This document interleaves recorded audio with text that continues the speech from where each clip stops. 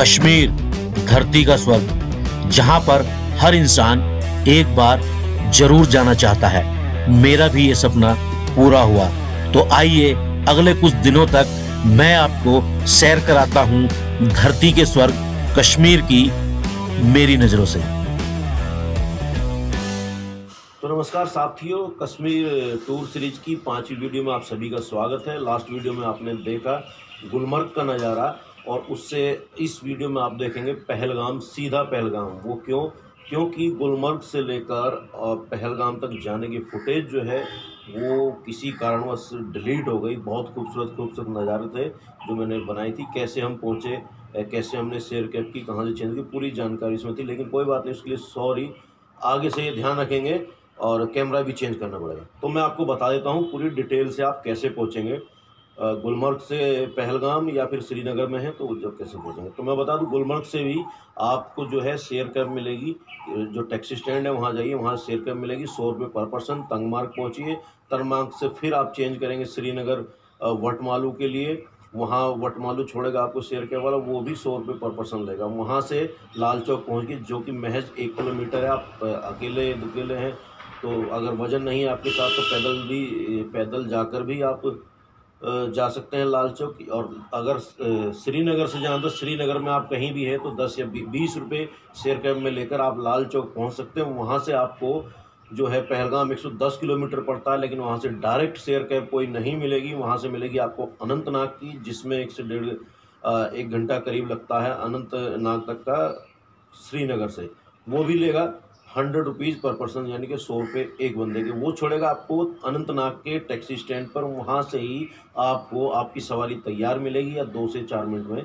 दूसरी शेर का आपको वहाँ से पहलगाम के लिए मिल जाएगी। वो भी लेगा सौ रुपये पर पर्सन, यानी कि अगर एक बंदा है तो वो श्रीनगर से दो सौ रुपये में पहलगाम तक पहुँच सकता है, जिसकी दूरी जो है टोटल दूरी जो है, श्रीनगर के लाल चौक से पहलगाम मेन पहलगाम स्टैंड तक वो है 110 किलोमीटर और लगभग ढाई घंटे से तीन घंटे इस सफ़र में लगते हैं। तो ये ध्यान रखिएगा, जानकारी अच्छी लगे तो चैनल को लाइक शेयर सब्सक्राइब का बटन ज़रूर दबा देना और उसके बाद बाकी की वीडियो जो है, आप इसमें देखेंगे आगे की वीडियो में। लीजिए पहलगाम लोकल मार्केट का नज़ारा, वहाँ के खूबसूरत नज़ारा, बहुत ही खूबसूरत है।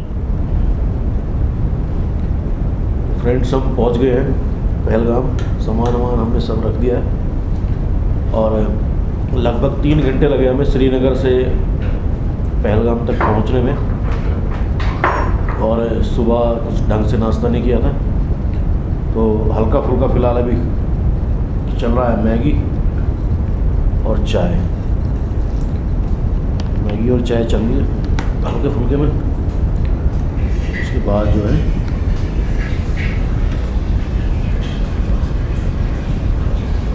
पहाड़ों में मैगी ना खाए तो फ़ायदा नहीं। रेट वही है, पहाड़ों वाला चालीस रुपए की मैगी है, पच्चीस रुपए की चाय है। तो दोस्तों, गेस्ट हाउस से अब हम आए हैं थोड़ा सा घूमने के लिए वॉक करने के लिए। और जो है, यहाँ के नज़ारे आप मेरे पीछे देख ही सकते हैं। वाकई में दिल कर रहा है कि बस एक बार देखते ही जाएँ, देखते ही जाएँ। हम आए थे मार्केट घूमने, मार्केट घूमते घूमते हम कई किलोमीटर आ गए डेढ़ दो किलोमीटर, अब वापसी जाएँगे। लेकिन मैं आपको कुछ नज़ारे दिखाना चाहता हूँ। नज़ारे देखो भाई, एकदम मस्त वाली फीलिंग है। एकदम ज़बरदस्त वाली फीलिंग है ना, स्विट्ज़रलैंड जो है ना भूल जाओगे मेरे हिसाब से। ये देखो भाई साहब, ऐसा नज़ारा दिखेगा? स्विट्ज़रलैंड फेल है मेरे हिसाब से तो।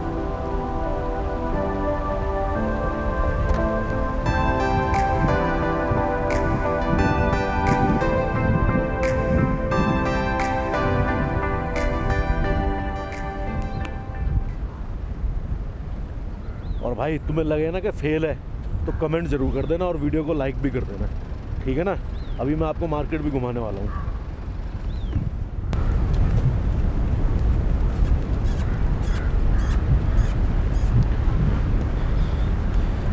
क्या खूबसूरत लग रही है, सर्दियों में भीड़ भी बहुत खूबसूरत लग रही है। और दोस्तों, मैं बता दूँ सबसे पहले तो पहलगाम जो है, एक कस्बा है, अनंतनाग।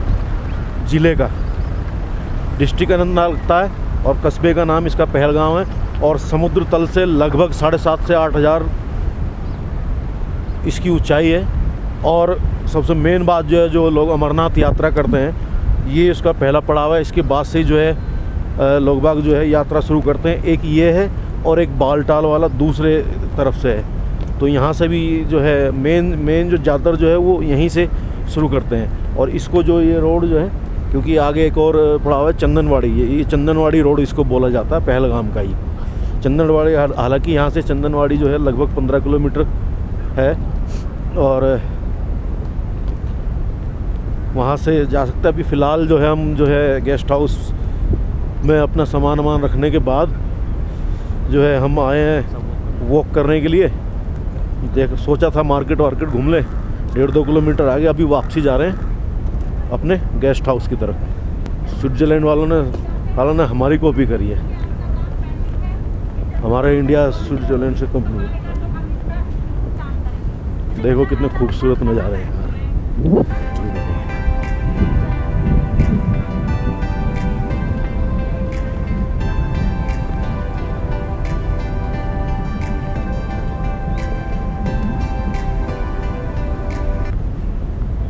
कम है क्या?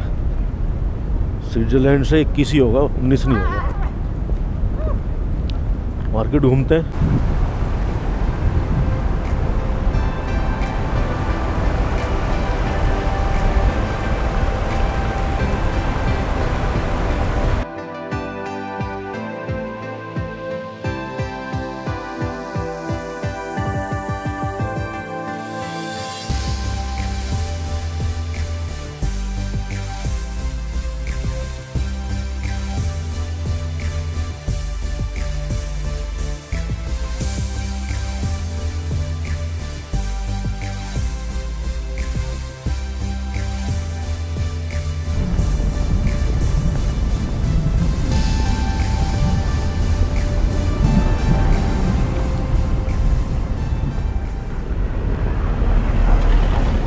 ये जो है ना, ये पूरा मार्केट एरिया है, अगर आप देखोगे तो ये देखो।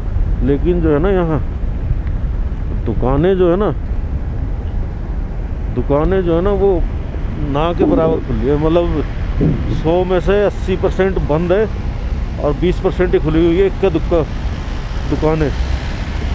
और दुकानें क्या, वो दुकानों में भी ज़्यादातर कुछ तो होटल हैं जो खुले हुए हैं और कुछ जो रोज़मर्रा की चीज़ की दुकानें हैं, वो खुली हुई है। और मुझे जो फीलिंग आ रही है ना अभी, ये गाँव देख के, यहाँ की शांति देख के, एक तो कोरोना दूसरा ऑफ़ सीज़न है। जनवरी, दिसंबर, जनवरी, फरवरी, ये ऑफ़ सीज़न होते हैं। मार्च के बाद जो है, मार्च मिड वीक से उसके बाद जो है, यहाँ पर सीज़न शुरू हो जाएगा। जब थोड़ी टूरिस्ट की भीड़ भाड़ दिखेगी। टूरिस्ट अभी भी है, लेकिन उसके मुकाबले जैसे पहले आते होंगे, अब ऑफ़ सीज़न मान लो या कोरोना मान लो, लेकिन अभी फ़िलहाल कम है। और मुझे जो फीलिंग आ रही है, यहाँ इस टाइम मुझे आ रही है, मैंने जो है यूट्यूब पे कई वीडियो देखी यूरोप के जो छोटे छोटे कस्बे होते हैं ना, उसी टाइप की फीलिंग है, एकदम शांति इक्का दुक्का लोग और बर्फ़ जो है दोनों तरफ़ बर्फ़ और गाड़ियाँ भी इक्की दुक्की तो यूरोप वाली फीलिंग आ रही है। यूट्यूब पे मैंने कई वीडियो देखी ऐसी। ये देखो।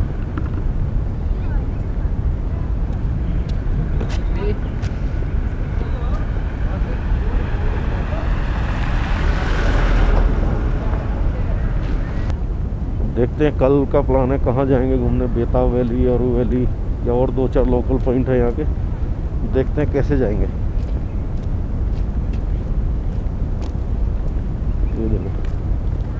कुछ थोड़ी बहुत दुकानें हैं। कपड़े की, परचून की, इस तरह की ये दुकानें खुली हुई है बस।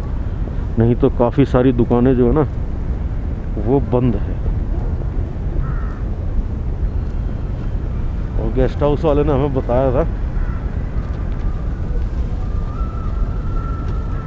गेस्ट हाउस वाले ने हमें बताया था कि ये डेढ़ दो किलोमीटर का एरिया है, पूरी मार्केट है, लेकिन अभी तो फ़िलहाल यहाँ सन्नाटा छाया हुआ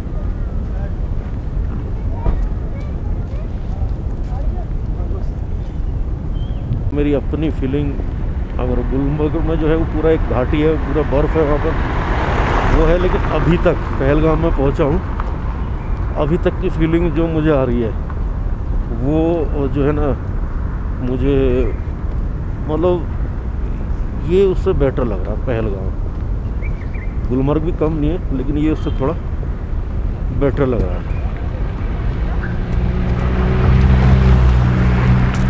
रिपेयर का भी कुछ ढंग से पता नहीं चल रहा। अब मैं सोच रहा हूँ, दिल्ली जाकर सबसे पहले कैमरा लूँगा। क्योंकि इसकी बैटरी भी इतनी नहीं चलती, उसके बाद क्या होता है, एक हाथ में कैमरा और एक हाथ में ये मोबाइल जिससे ऑपरेट करता हूँ। और फिर पावर बैंक भी आ जाता है एक हाथ में। और अगर चलते टाइम करते हैं जिसमें जिस समय बैग वैग हाथ में होता है तो उस समय और ज़्यादा दिक्कत होती है। यहाँ से ले ले गए कुछ? हाँ, हाँ? तो यहाँ से ले लो दुकान से। यहीं से लो। यहीं से ले लो। हाँ।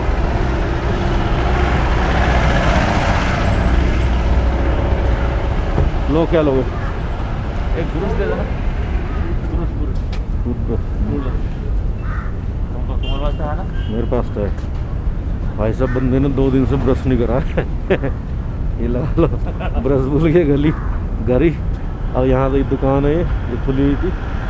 तो यहाँ से हम जो है कुछ सामान लेंगे ब्रश ले लेते हैं। और और क्या लोगे? लेजर लेजर लेजर क्या? अरे वो है। है पास हाँ। है। हाँ है, है। है। वो तो ले लो कुछ। और हाँ। बिस्किट हार्ड एंड सिक अरे हाइड एंड सीख नहीं एक एक ये लो नमकीन लो एक चॉकलेट का ले लो ऐसे ऐसे करके एक दो बिस्किट ले लो और नमकीन ले लो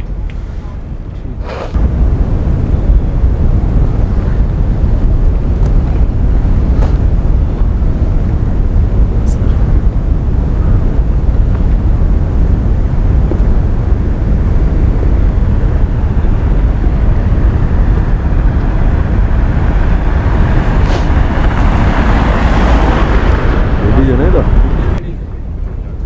ये ब्लू वाली। ब्लू वाली। ये ब्लू वाली। ये तो जेंट्स है। ये ये कितने की है? ये कितने की है? इसी रेट में। सारी एक ही रेट है क्या? ये अलग अलग है। देख रहे देख रहे हम तो पूछ रहे अंदर भी और ये वाली? ये। आप पसंद करो कौन सा लेना पूछ रहे हैं यार जैकेट का रेट पूछा भाई। लेकिन अच्छी होती है ये भी। हाँ भाई सब। सरप्लस की जैकेट की शॉप है। आओ नहीं लेन तो सेवन हंड्रेड बोल रहा है। इतने में तो दिल्ली में मिल जाती है। ठीक है।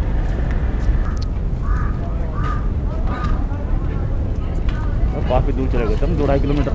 और क्या?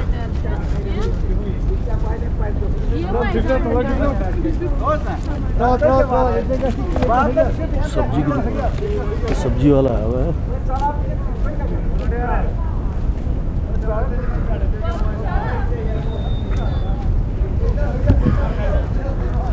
लोग जो है पीछे सब्ज़ियाँ ले रहे हैं।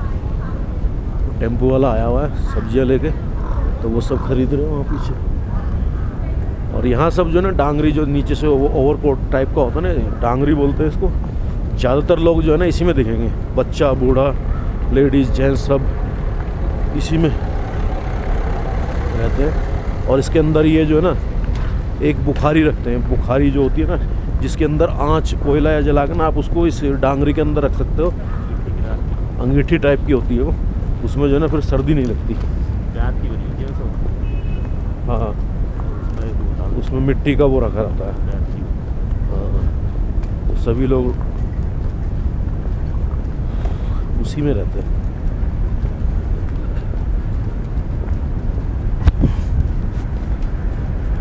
तो अब चलते हैं गेस्ट हाउस हमारा आने वाला गेस्ट हाउस में चलते हैं।